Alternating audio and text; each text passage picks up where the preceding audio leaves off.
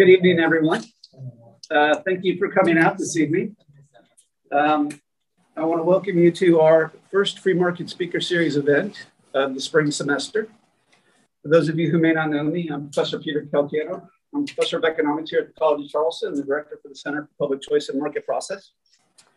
The mission of the Center for Public Choice and Market Process is to expand the economic, political, and moral foundations of a free society and the understanding of our students on these topics. We are um, we do this through a variety of events and programming, including our free market speaker series. And as you can see behind me here, as we've got the slides coming up, right? These are a series of events. Most recent, most importantly, what's coming up is our Adam Smith Week. It's March 21st and the 25th. Um, and so we've got a variety of great speakers coming up, and I would encourage you to uh, check out the center's webpage, check out our social media pages, and Instagram, Facebook, Twitter, all of it to learn more about what the center does. Right? Uh, we do faculty research, and we have a couple of our faculty research fellows here with us this evening. So if you've got questions afterwards and want to talk to them. And one of the things that we have that is sort of at the center of our program is our market process scholars. So our market process scholars are a multi-year mentoring program involved in the center, and they get an opportunity then to work with faculty research as well as partake in all the activities of the center and then some. Um, and so with that, what I want to do is introduce one of our market process scholars, Emily Cook, to introduce our speaker for this evening. Hi, so like Dr. Calcagno said, my name is Emily Cook, and I'm one of the market process scholars, and I have the pleasure of introducing our speaker today. So Dr. Alicia Plemmons is an assistant professor and economics program director in the Department of Economics and Finance at Southern Illinois University at Edwardsville, where her teaching specializes in public economics courses, mainly pertaining to taxation and expenditure at the local, state, and national levels.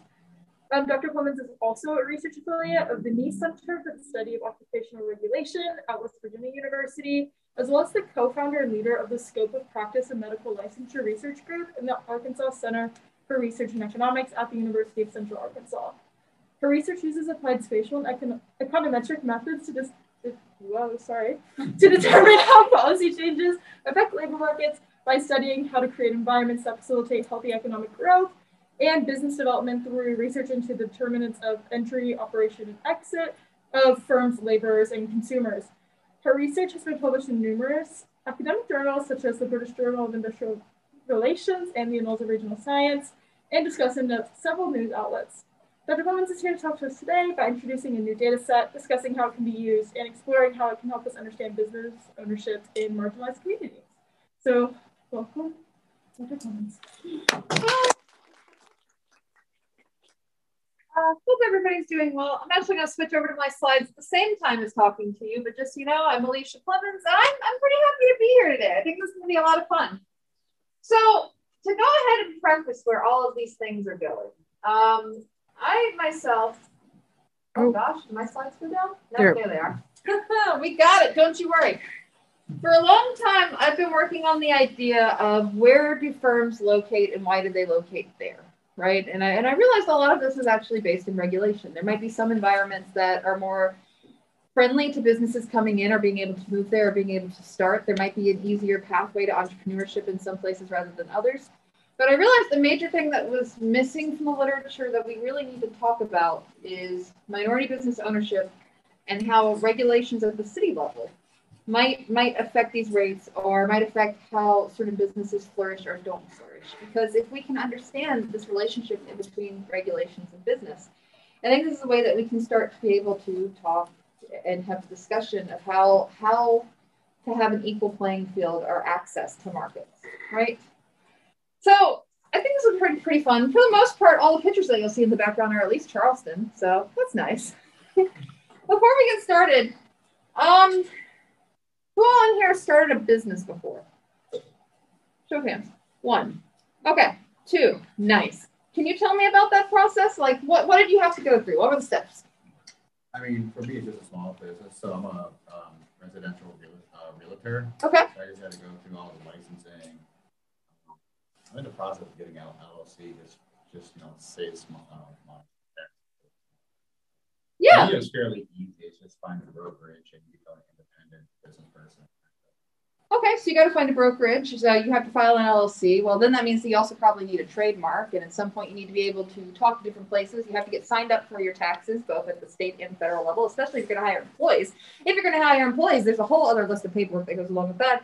And it's not necessarily something that's always accessible or easy for people to do, especially if this is something that might be a multiple week process and it might be something that that might be confusing or there might be additional hurdles. Because while it might be a little bit easier to, to start a business in charleston it may not be the same in every single city. Right? Where sometimes this process can take longer. So that's kind of where, where i wanted to go to. But first i just want to talk about some of the benefits of lots of business ownership in marginalized communities right? Uh, the, those communities that may not have the same set of resources or, or abilities or, or access to the same market resources, right? Uh, a higher prevalence of business owners by members of marginalized community has been associated with more job opportunities for people within that community. If you have more businesses in marginalized uh, communities, then you have more hiring, more empowerment, more feelings of confidence, um, new businesses being started, and, and a lot of these feelings among business owners. High rates of minority business ownership has been associated with leading to higher rates of college education and access for members of those communities in these areas. And companies with diversity among their ownership structure has also been seen to better withstand things such as economic downturns or uh, have different sort of strategies for being able to come up with complex problems or being understand complex problems. Right, so there's lots of benefits to having this high prevalence of, of business ownership in marginalized communities, and it's something that I kind of want to think about. And the reason I want to think about it is because while I was working on all of this work on firms and understanding how businesses change, a, a statistic really hit me that, that I wanted to think more about. The first is that 18.7% of businesses in the United States are minority owned. That sounds like a lot, right? That's nearly one in five businesses. But 42.2% of the US population is from a marginalized racial or ethnic group. Those numbers are not the same. And I realized, well, why is there this huge difference? Could there be some sort of reason, even a regulatory reason, that might be causing some of these differences, right? Lots of regulations were started in the early 1900s uh, and have been prevailing or differencing over time. How does this change or these differences, especially at city levels, affect access to markets or the ability to enter markets? Uh, a couple like interesting things related with these same statistics of just where where are business owners now? Now that we have a little bit more information. Well, Hispanic business owners have a large presence in construction, of owning about 15.6% of all construction firms in the United States. Likewise, there's significant rates of Hispanic-owned businesses in accommodation and food services, as well as professional, scientific, and technological services. Asian-owned businesses uh, account for the largest subsection of accommodation and food sector by far. Um, one, uh, being in a place like Charleston, I'm sure you're used to having wonderful, amazing, diverse, and fantastic foods. That, that's not always available everywhere. Uh, Black and African American owned businesses account for about 32% of healthcare and social service firms, and there's approximately 24,000 American Indian and Alaskan Native owned businesses, and about 6,700 that are owned by Native Hawaiian and other Pacific Islanders. And I wanted to understand what motivates these businesses or what sort of environment helps them to succeed. Right? Okay. So I'm not going to go too far into the literature. One thing that you might hear me saying every now and then is the idea of an ethnic enclave. These are just geographic concentrations of entrepreneurial activity of similar racial and cultural groups. Has anybody ever heard of Chinatown? Um, part, parts of different New York? Yeah, sure. Have um, you ever heard about like the Italian district for food, where there might be lots of Italian food in one location? Yeah, I'm getting nods. Wonderful. These sorts of places that they're called ethnic enclaves when, when we discuss them within the literature because it's just concentration, geographic concentration of similar types of businesses. Understanding places such as ethnic enclaves lets us know, okay, well, what's different about that neighborhood? Or is this neighborhood concentrated geographically because there might be some sort of need for hiring or, or need of community in this area for flourishing businesses. So that's something that we have to consider within, within this discussion. So within the literature, which we won't spend too much time on this. Uh, reducing barriers that limit the size and scope of American minority business communities began in earnest in the 1960s and 70s. So a lot of these policies originally came in in the early 1900s, ramped up during the Progressive Era. Well, the Progressive Era was before the Civil Rights Act, right? Many different types of regulations were, were put in place in a way to be able to differentiate communities or to be able to keep out certain types of businesses within communities. Being able to scale back some of these regulations or thinking about not necessarily having them in certain areas, that started to, to happen in policy in the 1960s and 70s, but didn't really happen in earnest. There's still huge differences in how things might affect different communities or groups, right? Marginalized groups regularly experience race-based discrimination in small business lending. Has anybody ever heard of the idea of redlining? Some people have. Okay, it's it's the idea that there are certain areas where loans just weren't available in the same capacity to individuals. Uh, it was a way of being able to almost target certain neighborhoods that that ended up being predominantly black almost always, right? Uh, lack of access to markets through these types of regula- regulatory hurdles, these can cause persistent poverty problems. It can reduce new job opportunities. It can reduce hiring. And when you reduce job offerings and, and hiring because there's a lack of, of community and businesses within that community, then that also affects things such as college attainment rates, which can later affect new business development. So this is almost a cyclical persistent problem if, if barriers exist that might cause long-standing issues. Right. Everybody following me? Fantastic. All right. So unfortunately, we've never really been able to look at this at the local level before. We've been able to say, ah, well, this is a problem in the United States, or this is something that we need to talk about. But local level business owner information, that is new. And for a long time in the literature, we haven't been able to think about what is happening at the local level spatial piece. Most studies, these most studies that we reference here or that are within the literature, these are country-based studies where we look at the whole system. Or it might have just one or two cities looking at individual neighborhoods, but not being able to think distinctly in between different cities. So the main question I wanted to get to are regulations creating barriers for business owners and marginalized communities? The basic simple question, is this correlated, right? Do we see differences in these regulations? Are these differences in these regulations correlated with the differences that we see in business ownership? We would love to get a causal idea. We'd love to look at that over time, but we need to at least start the literature, right? We first need to look at what's happening at these city level areas. So there's three main challenges that the literature has had so far, right? All the people wanting to look at what's happening with minority business ownership, they face one of three problems. We're going to try to talk about all of those problems and come up with a solution today. The first one is that there's been a lack of business regulation at the municipal level. The idea of having city level information because states might differ, but really, honestly, a lot of the, the policies that are going to affect individuals, those are city level decisions. So there's been a lack of city level or municipal level information for a long time. So we're going to try to address that piece first. Then we're going to have a second problem. The second problem is no available data sets on minority business ownership. Um, that's been a huge problem. It's not that no one wanted to address this question. It's that there's no census data available for this question that's publicly available outside of working at a Federal Reserve or RDC right? Or at the census. There's been such little information on business owners that it's just a question we haven't been able to tackle in the social sciences. So I'm going to address that question, that question, and then we're going to talk about the lack of research, just the, the fact that people aren't able to get into the space and what can happen from there. So part of why I came here today was to introduce a new data set. Uh, Pete thought it was interesting. I think it's pretty interesting. It's called the Doing Business North America. It's put out um, by Arizona State University and a really awesome center that they have there. The Doing Business North America data set, which is published through the Center for the Study of Economic Liberty, uh, contains regulatory data for about 134 different or cities, right? So this is city level information that is comparable. So for the first time ever, we have a data set that we can look at and we can see what is the difference in between Charlotte and Charleston? What is the difference between Atlanta and Charleston in at least the same context, right? Because for a long time, we've had a lot of these regulations, but it looks like it's comparing apples to oranges. Part of the reason of this study and the purpose of this study is to put it all in the same language. So we can start to look at apples to apples because they go and they try to answer these regulatory questions and, and make observations on what the environment is in all of these cities. Now, we're going to talk about the United States in this class right now because the, that's that's the question I'm thinking about. But this data set can be replicated in both Mexico and Canada because it does have available information for both Mexico and Canada.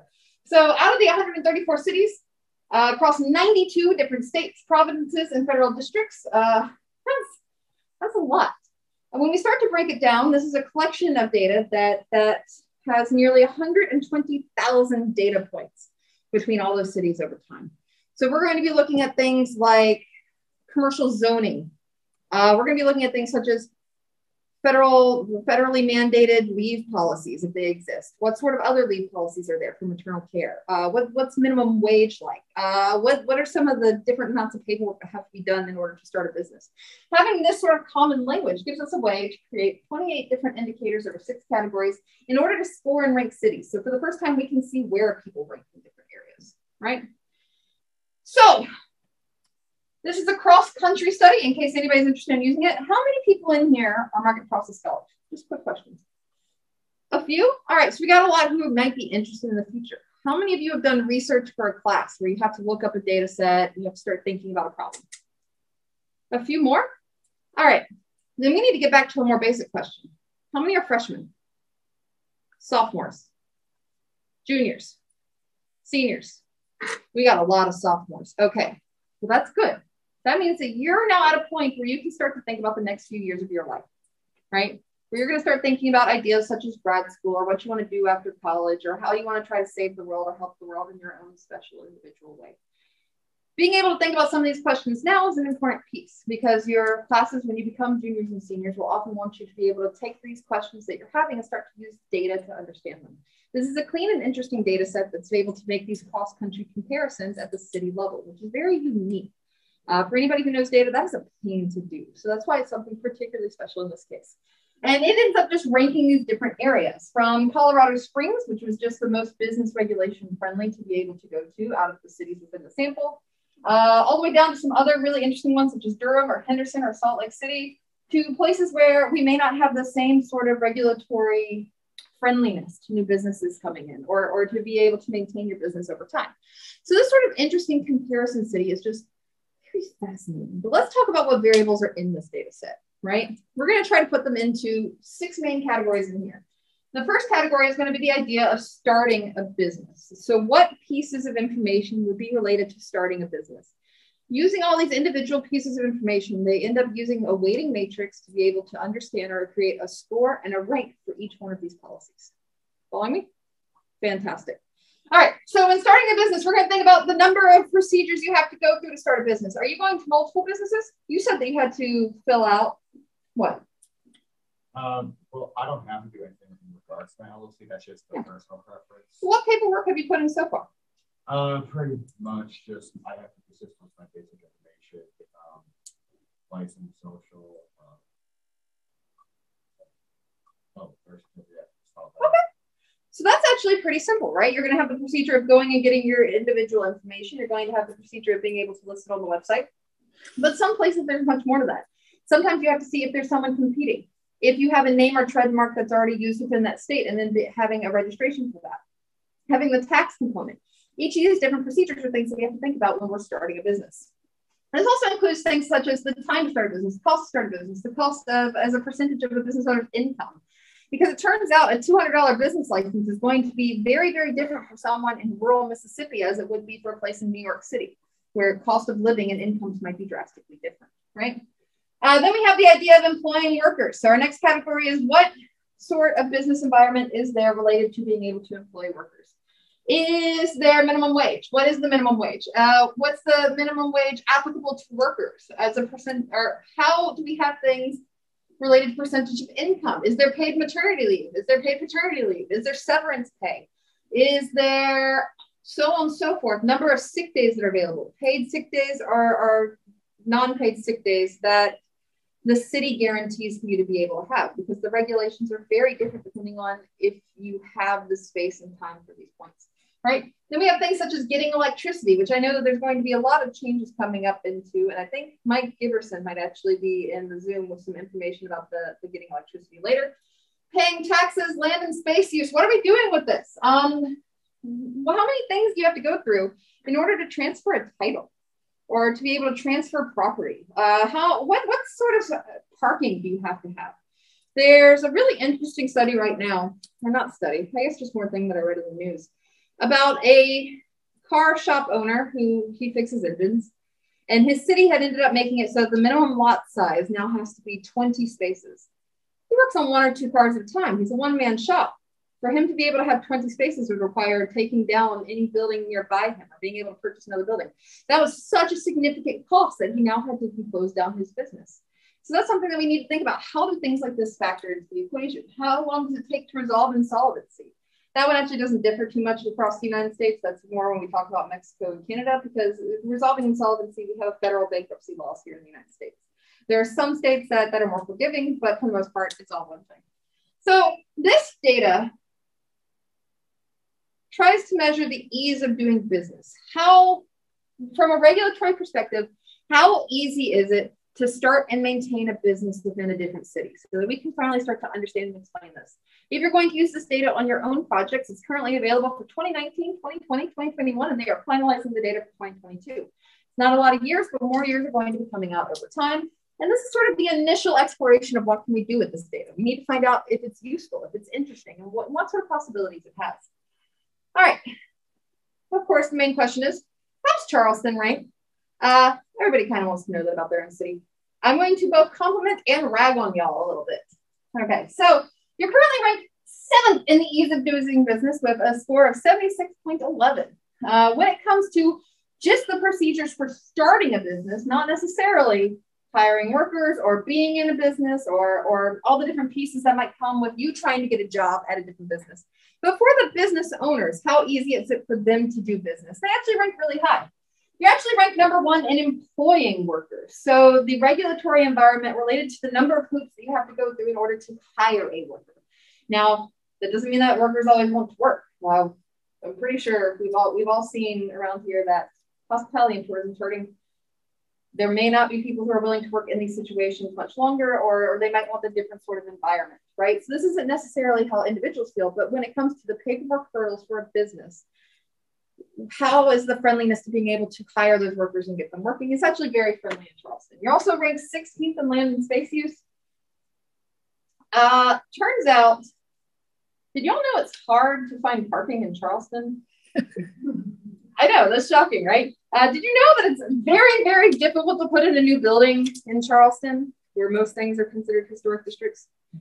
Yeah. So this this is not a perfect measure for this one. Now you got a couple others. You ranked 38th in starting a business. Turns out it's a little bit messy to start a business here. Um, 26th in getting electricity. 49th in ease of paying taxes. Uh, have you all ever had a headache trying to file your taxes? Yeah. Yes. If you haven't, you probably should. Remember to find your 1098s that the school gives you because you get to be able to write off things that you purchase for your school activities, such as buying books, right? But for the most part, it turns out that there's actually a lot of headaches and process that are in Charleston for being able to file your taxes that aren't necessarily around in other states. So that's important to know as a business owner. So because of the DBNA, we have now been able to address the first main issue that's existed in the literature so far. The fact that there is not city level data for us to be able to look at this minute or, or lower level ge geography. Okay, let's look at the second one. We don't know anything about minority business owners. That's a huge issue when you want to study minority business ownership. So this is where my stuff comes in. So this is a lot of what I've been working on for, for a long time now. I have data in between 2000 and, 20, and 2021 related to business owners and CEOs of, of every business in the United States. This, this data set was acquired through a popular sales lead company whose job is to go out and make sure that they know every business that's, that's opening for the purpose of being able to call and annoy them. This is similar to the NETS data, but more affordable. Uh, so this covers about 15 million businesses in the United States, and I know exactly where they're located. I know exactly how many employees they have. I know information about their square footage, uh, their latitude and longitude, and most importantly, I know about their business owners. Um, I'm actually about to talk to you about how I match business owner names to racial and ethnic information, but I can match about 8.8 million of them. That's a lot of business owners to be able to understand, okay, where are they? What are these communities like? So let's kind of go through some things that this has. Name of business owner or primary CEO or administration. We have the name of the business and contact information. If something looks weird, I can go look it up and try to figure out what's going on. I know about their ownership structure. Is this a private company? Is this a public company? Are they on a stock or have they filed their LLC yet? Or are they an individual? These are important questions to know because the differences in what those communities are going to be like or the needs of those businesses are going to be very different. All right, we can think about the number of employees. It doesn't matter if you have twice the number of businesses if they can't hire anybody, right? So thinking about that difference in between what are the prevalence of businesses and the hiring patterns of those businesses, that's a very important thing to think about too. Estimated sales, overhead, square footage, uh, latitude and longitude. So basically I can figure out where these businesses are in a city and I know a little bit of information about the business owner. So that's kind of where we get into this, this creative part. This is sort of fun. I think it's neat. Some of you are considering research. Some of y'all might decide to do research at some point. Some people are probably just here because you're like, ah, it's a weird topic. Let's go check it out. But how did I start to develop and deal with this issue that there was a lack of information available? So I came up with a three part system. The first step name identification and standardizations. This means that for every name within the database of this business owner, I need to make it something searchable. So I take out the capitalization, I concatenate them together to take away dashes, things that I'm able to observe. And don't worry, we're going to give you an example. So, for example, uh, I'm Alicia Plemmons. I would have A-L-I-C-I-A, P-L-E-M-M-O-N-S, all lowercase put together, kind of gives me some information about, about what I am. Or I can separate just what the last name is, which we find to be the most interesting and useful way. So first we need to clean the data. That's our way of cleaning the data. You standardize the names of all these business owners to deal with the fact that we can put it into these statistical programs. How many people in here have used SAS? Stata? Okay. All right, so some people. Um, for people who don't know, especially sophomores here, the world's changing, right? We have data that we had never had before in the history of, man. Uh, in the early 1900s, the idea of a good data set was something that had 50 to 100 observations. Now, the idea of a good data set is something that's multiple terabytes. Well, that's not something that you can look at by hand. So typically in economics, we use statistical programs to be able to look at it and be able to answer these questions. It also, also allows us to do a lot of mapping capabilities. For example, if we know the latitude and longitude of every business, now we can find them on a map.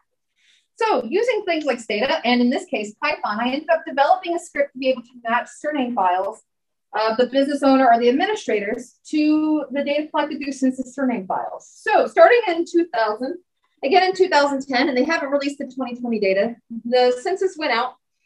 They found out information about everybody. I mean, it's their entire job. Uh, it's what they're supposed to do every 10 years. And it turns out that they had a lot of names. So they created the surname files that looked at here's the last names of everybody in the United States, or the ones that were more prevalent than a certain threshold. And what percentage from each racial and ethnic category did these last names come from? For example, my last name is Plemmons. I think it was like 99.7% of the time, my last name Plemmons was associated with white, right? So being able to know where these last names are most commonly associated with gives us some information about the probable or likelihood that a business owner may be associated with a particular racial or ethnic group. Is this perfect? Absolutely not. But it's the best we have, and it's a starting point, right? So point three was creating a cutoff probability.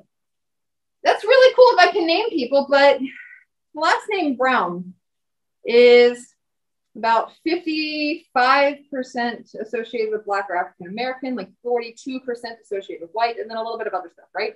That is a little bit messier. I'm not quite sure what ethnic or racial group that that last name might come from. So I typically have a cutoff point around 90% where it says I need to have at least a 90% confidence that this last name is associated with a particular ethnic or minority group to consider them that so that I can develop my data set of minority business owners so I can figure out where are they? Are there ethnic enclaves where they might be clustered together? Are they in some cities and not in other cities? Because this is something really important for us to know about if we're going to uh, approach the differences in regulations in cities, right? So let me give you an example. Pablo Picasso, very famous, really pretty artwork, right? Very long name. But if we take this last section of the name and we end up doing this standardization procedure. We get rid of the capitals and everything else so that we can match it to the census surname files and it will likely have a match. Well, then we can come down and see in the census what this is and what the distribution is. So for Picasso, out of the United States, people with the last name Picasso, 15.3% of the time are white. 83.82% uh, of the time are Hispanic, and then there were also some in, in Black are two or more races no Asian or Pacific Islander, no Asian Indian or Alaskan natives that were associated with this last name. So this gives me information on what this last name would be like if I saw this business owner. Now notice that I'm not sure. This is not above 90%. So I'm going to go ahead and throw it out and say, I'm not 100% sure, I'm 90% confident that this is going to be associated. So that's sort of what I did for every single one of these business owners. And from there, I've developed a series of maps looking at sort of the density of different groups. So we have white, we have uh, Asian, we have black, we have Hispanic. I tried to find out where these business owners work. And that this was this is one in itself difficult, right? It's something that just hadn't been done before, which I thought was pretty cool. Uh, but it's it started to at least make it so that we could answer the question, right? So with this data on about 8.8 million business owners, of that, I can about with at least 90% confidence identify about 1.5 million of them. Well, that's a lot of people in a lot of cities to be able to try to have this comparison or understand where people might be located, right? This allows me to create a series of different variables. Now, does it is it 100% accurate? Probably not. But it does allow us to have city to city comparisons. I can say, are there more Hispanic associated last names among business owners in Charlotte as there are relative to Charleston? We can now make some sort of interpersonal comparison in a way that we weren't able to do so before, right? So from here, we were able to compare between cities the rate of minority owned businesses, use population weighting effects. So thinking about what's happening in the population, uh, the distribution of, of individuals within that population. So not only do we need information on the business owners, if there is 40% Hispanic ownership in an area, but 80% of the population is Hispanic, that is a difference that we need to know or understand. So we add in population weighting measures to be able to understand what these relative differences are. Because having 10% of the businesses being Hispanic in, for example, Dallas, Texas versus Billings, Montana, would be two completely different situations. So we have to have some sort of understanding for this. Uh, this also, we were able to finally understand business ownership as represented by Black, Hispanic, Asian Pacific Islander, American Indian, Alaska Native, and individuals who identify with two or more races. The main ones that we're going to talk about results with are going to be these first categories, Black, Hispanic, and Asian, uh, just because there, there's not enough data to be conclusive on, on the other business owners or to be able to say for sure that this correlation may exist, right? So while we're able to determine the probability that a name is associated with a specific race or ethnic category, this method cannot account for every individual circumstance. I just want to go ahead and preface this now. It's not perfect, but it's at least the best we can do. So uh, I know you're probably not going to be surprised by this first one. The places with the highest rates of minority business ownership kind of makes sense if we think about it before population weighting. So Miami, San Jose, San Antonio, Houston, New York, New Jersey, that kind of makes sense. And then the places with the lowest rate of minority business ownership, places like Lincoln, Nebraska, Fargo, Portland, Billings, Sioux, Sioux Falls, that also kind of makes sense when we're necessarily thinking about it. But what happens when we add in population weighting? When I start thinking about ranking these places, when I consider both the distribution of racial and ethnic groups within the community as well as within the business owners and how population weight to this, the distribution changes a little bit we still have some of the highest prevalence in places like Florida and Texas, but now we have places like Arlington, Virginia showing up, Albuquerque, New Mexico. We're starting to notice that in some places there is a higher representation of minority business owners relative to the population than in other places. And then we saw there might be different sets of places that aren't necessarily doing a good job of representation. Uh, Portland, Maine, Jackson, Mississippi, Cleveland, Ohio, Cincinnati, Ohio. It turns out all the Ohio's did not rank well. Uh, and Sioux Falls, South Dakota. So, what have we gotten to so far? We've approached two of the problems. Why has no one studied this? Well, lack lack of individual city data. We got that from the DBNA. Lack of information about minority business ownership. It's not perfect, but we do have some understanding of that now. So, what are we going to do about the research? Well, let's get back to that base question. Let's think about that again. How can we use the city level regulatory data to understand minority owned businesses? This is important, right? This is an access question. So, Let's go by subsection. I'm not going to bother you with tables. We're not going to go through all of that um, because I didn't know what the different sort of distributions of empirical skills in the room should be. I know, I know many of you, you said you're freshmen and sophomores. We're going to just start thinking about how these things might be correlated together and talk through some of them, right? So we're going to do it by different main categories. So first, let's talk about the ease of starting a business. So remember that these are things related to how you have to do your paperwork to be able to start your business. How long is that going to take How much is it going to cost? Starting a business is tough, right? Notice that most people in this room haven't done it. It's difficult to be able to start a business. And it takes a lot of strength and power and, and you know having financial ability to do so. So the ease of starting a business is measured with these city level policies And to give you some background, they wanted to make sure that the city level policy information that they had was consistent among the different cities. So one of the ways that they did that was by having teams of students like you pretend like they're setting up a business and they would contact the city boards. And they said that they have a very uniform set of businesses. They said, where is it? That they were creating a limited liability company with general commercial activities, right? That's 100% domestically owned, had up to 50 employees, does not qualify for financial incentives, and has startup capital at two times the income per capita of the business owner this information going around to every single city was how they figured out the distribution of how friendly or what sort of procedures or what sort of regulations they would be related to starting a business, right? A one standard deviation increase in the ease of starting a business. So one standard deviation increase in the ease of starting a business uh, was related to having a 1.4% increase in minority business ownership. As it became a little bit easier to start a business. There were less barriers. It took less time. There were less procedures. There was less institutional knowledge that you may need to know in order to start this business. The more minority business ownership we started to see happening in these places. And this is a very big deal. You might say, oh, that's 1.6 people or 1.6%, right?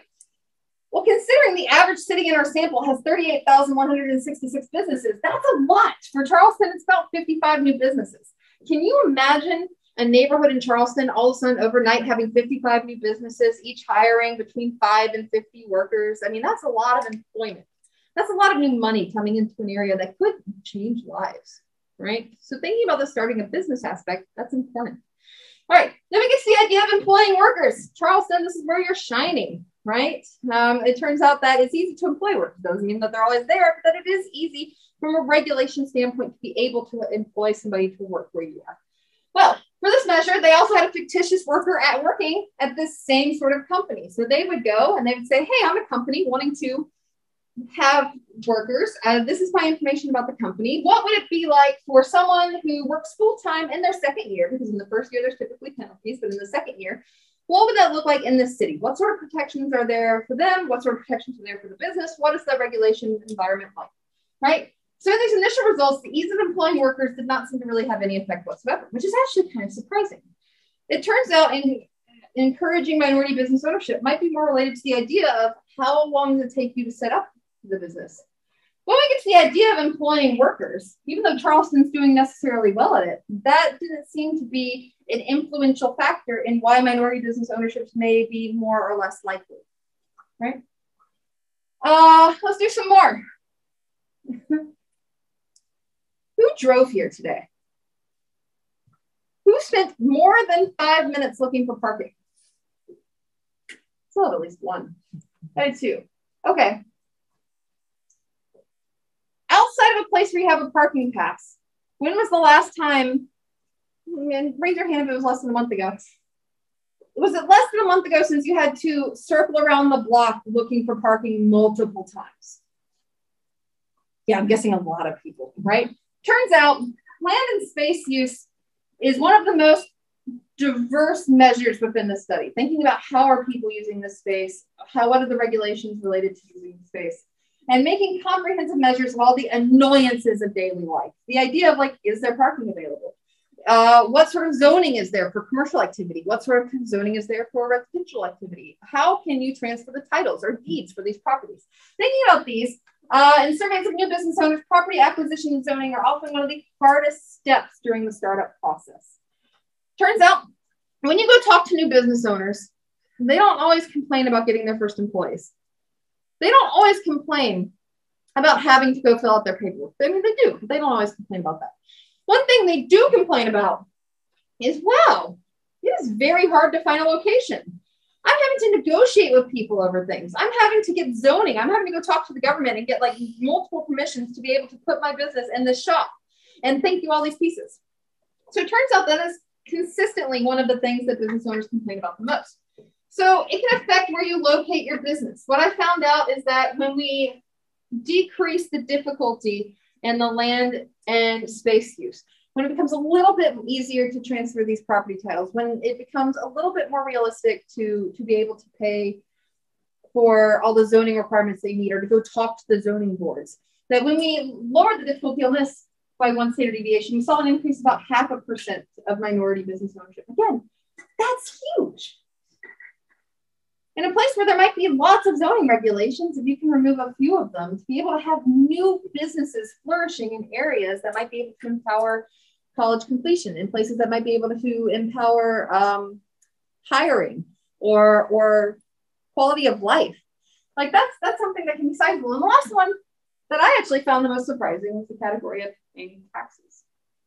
I would have, if you asked me my prior, I would have said this one. This one's got to be the biggest piece. Um, turns out the ease of being able to pay taxes didn't really have any effect whatsoever on minority business ownership. I guess that's because most small businesses uh, can use TurboTax. You use the paid version, but they could use it. Most larger businesses are going to have accountants. So it turns out that the ease of actually being able to pay your taxes and what those tax rates are, that didn't really seem to affect minority business ownership. Instead, it was what are the different policies, the number of people that you have to talk to for land, the number of people you have to talk to to start your businesses.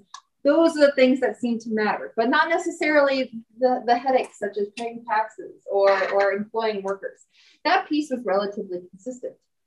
Well, this tells us something. This tells us a couple really interesting things about what the, the regulatory barriers might be for some groups or some marginalized communities within cities.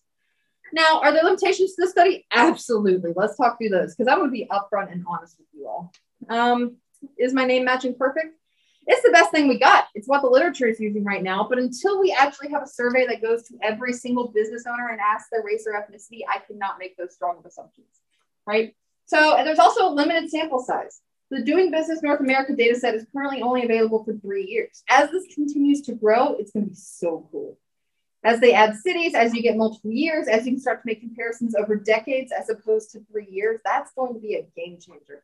But as of right now, we can only really look at correlations. We can look at how these things might be related to one another. We can't actually say causally, when you lower taxes here, this happens. Or when you lower the parking space requirements for businesses in Charleston, you have more businesses showing up.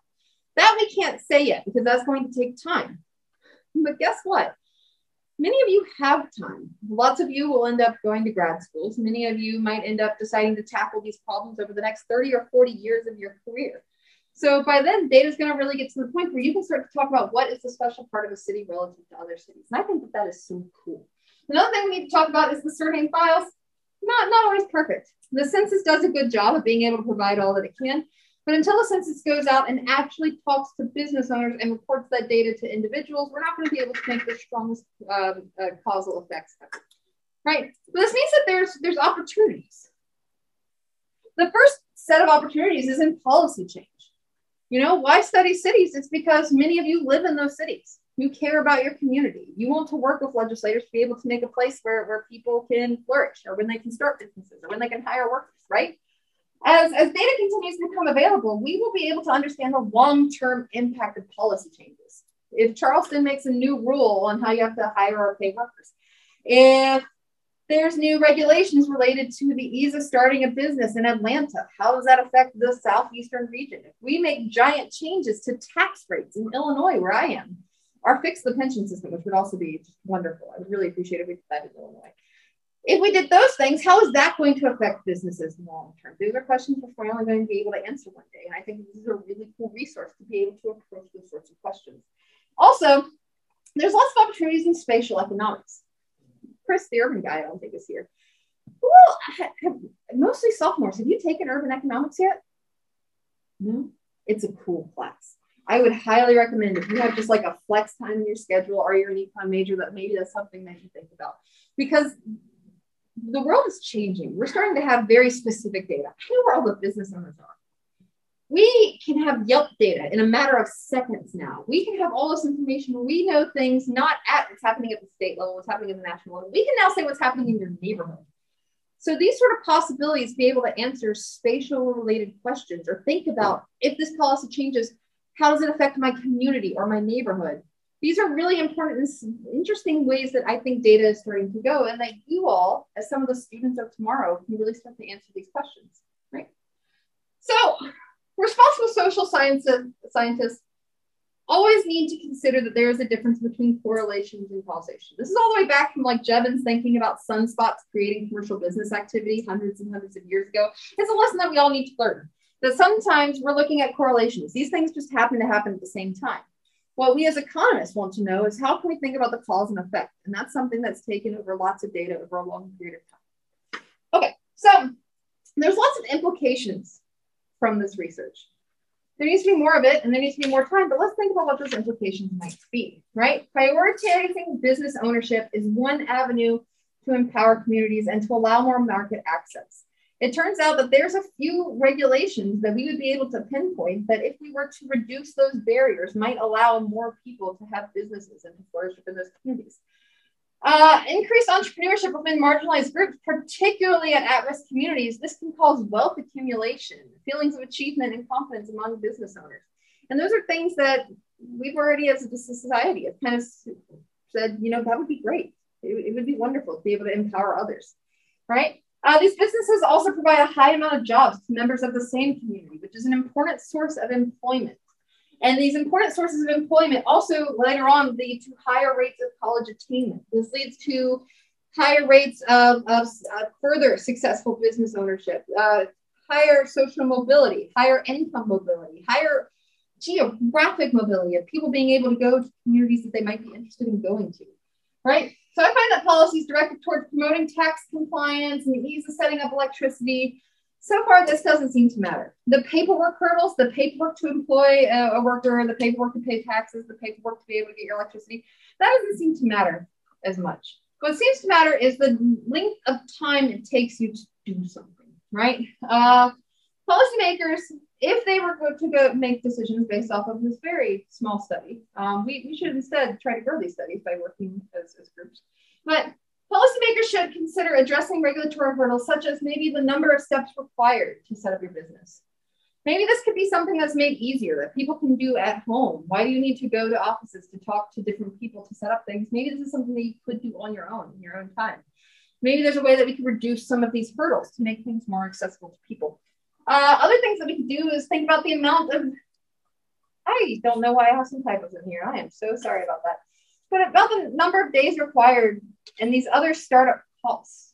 And also the land and space use piece. Do you know how many businesses fail each year, typically because they're just caught up in a zoning battle? Thinking about where you might have residential versus commercial activity, it turns out it's actually a lot. See, you're probably interested in this. You do real estate, John it's it's a lot of businesses that are affected every single year by zoning regulations. So this might be a way that we could try to simplify the process in order to not only make existing businesses better off, but maybe new businesses coming in better off. So did I address the three points? I don't think so. We addressed the first one. We need to sit on civic level data. Boom, we got that. We can address the second one. We need information on minority business ownership. We managed that one too. You know, the third one is the idea that there needs to be research in this field.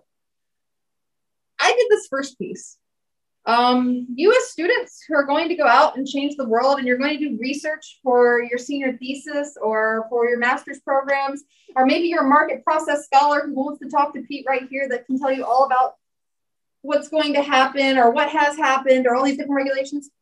Are you're someone who's never met the center before and you want to be a market process scholar and think about these research things in the long term this is your role to be able to help with the, the research onto this question or to continue into this piece because research isn't done alone. We're, we're not in vacuums. Uh, a lot of the time it's I show you what's been done so far and then you get to do what's next. One of the great parts. So um, it wouldn't be coming to College of Charleston without giving you a quote about Adam Smith. Right? So, in general, if any branch of trade or any division of labor be advantageous to the public, the freer and more general the competition, it will always be the more so. The idea that if we have these sorts of ways that we might be able to specialize, we might be able to have new businesses, and these businesses are, are attractive and, and they're advantageous, and then the community's better off. If we have even more competition, maybe we lower barriers and allow in more and more businesses and more people flourish, the even better off businesses end up being, the more advantageous to the community they are by, by having the ability to be there, right? So with that, uh, my name is Alicia Plemmons. I have a long list of things underneath my name, but for the most part, I just want you to know that I'm here to talk to you if you would like. And with that, let's start with questions. Does anybody want to talk about things? Yes. Are there specific industries or specific like subsects of mm-hmm. businesses mm-hmm. that are more affected by these regulations than mm-hmm. others? So that part I haven't really necessarily gone too far into. What I've noticed so far is the main ones tend to be hospitality and tourism accommodations and construction are some of the main ones that are affected. Anybody else? Yeah. So based on what you found, okay, and given the regulations that exist in places, are there industries that seem to be more prevalent that minorities maybe have an easier access to right now um, even though we want to have greater access for all of them, are there some that seem to be greater industry access than others? Yes. So most of them are ones that tend to be low barrier to entry startups. So jobs where, for example, Uber, Lyft, um, anything of Grubhub, uh, being able to have your own sort of company that works through different types of companies, such as delivery companies, those tend to be really, really small startups that at least have easy access, regardless of what these situations are. Another cool one is ghost kitchens. Has anybody heard of ghost kitchens? This one's cool. Yeah, some people are probably. Have you noticed that on like when you're going to Grubhub and DoorDash lately, every now and then there'll be something that like you're pretty sure that restaurant's not there. Like Mr. Beast Burgers. Mr. Beast is a Twitch streamer. Why does he have a burger place in Charleston and Edwardsville, Illinois, and all these other sorts of places? Well, ghost kitchens are the idea that there are group kitchens that aren't really a restaurant. It's 10 or 12 restaurants that only exist online, are all operating in the same space, and people can come pick up and, and deliver from there. Things like that, low cost restaurants that, that you're able to uh, put in very quickly, or low cost hospitality, tourism, and accommodations. That seems to be some of the industries that there, there's already a prevalence of minority ownership, and that that minority ownership is even more encouraged by by having easier barriers to entry. Does that answer your question? um, so I know we have just different students here. Are all of you econ majors? Where are you from? What's your major? Um, thinking about being an accounting. Oh, accounting's pretty fun. I like accounting. How about you? International business. Even better. Okay, so this stuff's very interesting, or at least relevant to you. How about in the back? What was your major? Um, systems engineering. Systems engineering. Okay. All right. Are you thinking about starting a business at some point? Um, Did you know this is a side point? We can get back to it later. Um, it was actually a bunch of French economists and engineers who both worked on a lot of the theoretical foundations of statistics that later grew into the principles of microeconomics and now the micro that we use now. And that's why pretty much every engineering program requires at least one econ degree or one, one econ uh, class is because just engineers really revolutionized the field 200 years ago. That's not necessarily too important. But what I'm seeing here is there are lots of people from all over who might be interested in this sort of topic uh, because it's something that might be relevant to you not only socially, but within your own industries. So that's kind of why I always like to give the pitch for why coming to things like this related to economics is so important. It's because economics is not necessarily a major, oh, it is a major, but it's not just a major. It's a way of thinking and approaching problems. Looking at something and saying, like, hey, this is something that I would like more information. I would like more information about this or that. Oh, did I accidentally open this up? No, I did it by accident. Oh, you're good. You're fine. oh gosh, you get to see me multiple times. Okay, here, I can. I didn't realize how wide my hips were. Is that bad to say? no.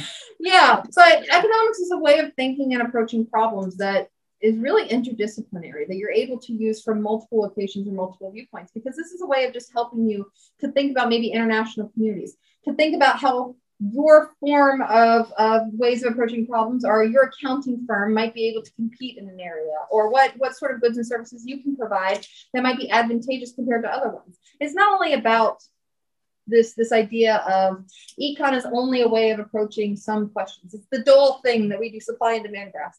It's the idea of building a toolkit so that you can answer all the other questions that you find really interesting.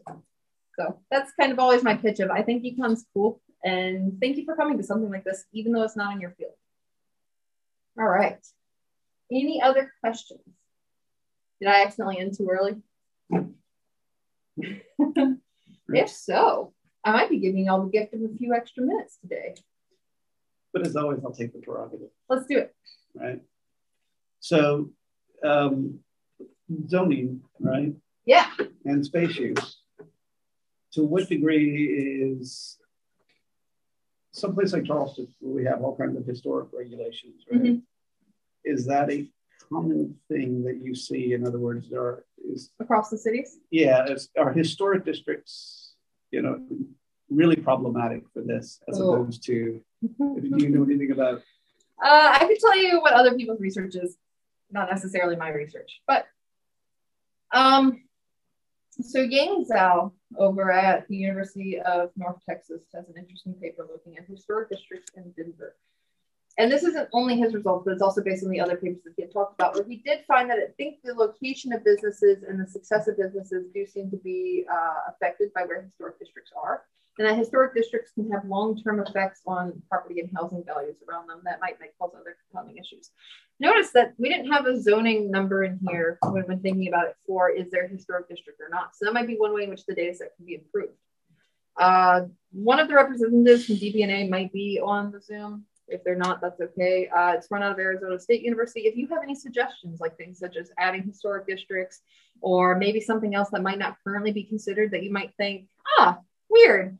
Charleston, number one for employing workers, did they think about this problem? If there's something like that that's not accounted for in the data set, there's a reason why it considers 120,000 different observations. That's something that we can add in later and improve to help use the data better. So maybe that's not something we have right now, but it's something that we can add in the future. And by we, I mean Arizona State. I don't know why I'm saying it like I'm part of that, but I try to help them on this data set. Everybody having fun? So I do see that we have three three little thingies. Are any of those important? Those are us. Oh, okay, even better. Well, it was hello, me. people at home. If you have questions, feel free to play along and, and tell some stuff too. Yeah, it was me saying if you have questions, put them in the chat. So. Yes. So I know in some states, uh, not necessarily at the city level, there have been very specific policies designed to help um, minorities get into certain industries. I'm thinking specifically of um, California and their process through the legalization of marijuana. They implemented these licenses which Mhm. gave preference to minorities. Um, do those sorts of policies actually work? Do we have data on that? so that's one that still needs to be explored. I do have some friends who are working specifically on the weed legalization one and minority business ownership. Um, turns out sometimes, sometimes it helps, but the problem is that's an extremely oversaturated field. So out of new people who get into uh, weed, weed specializations or weed distribution, almost 80% of those are going to fail within a few years just because it's a heavily saturated market. So yes, it does cause more minority business ownership. We want healthy minority business ownership, um, businesses that are able to sustain for long periods of time. So that might be something that the regulation may help, but it may also hurt in some ways. So that's one that that's the public choice argument of, of what is that trade-off and how could that affect things.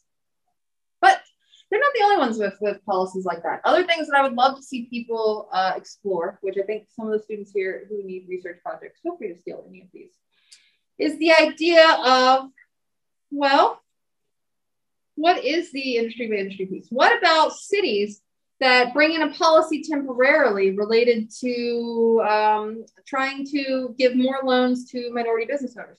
What about ones that really try to uh, approach historical redlining areas and, and try to make business loans more available in certain communities that did not necessarily have them before, or didn't have the prevalence of banking institutions before? So I think that's one of the cool parts of being able to develop this data set. This data set just gives you a common way of talking about things. You add in the next piece. And here I added in minority business ownership. You might be able to add in the piece after that where it looks instead at, oh, well, what happens to the different policies that happen in the area at the time? Because that's that's the basis of econometrics is thinking about what might these policy differences be or how might that affect things over time. So short question is, or short answer is you should do it. Uh, but I mean that in a nice way where it's, you should be able to look into this. And this is something that as the data grows and as the data builds, that's a question that we can start to answer.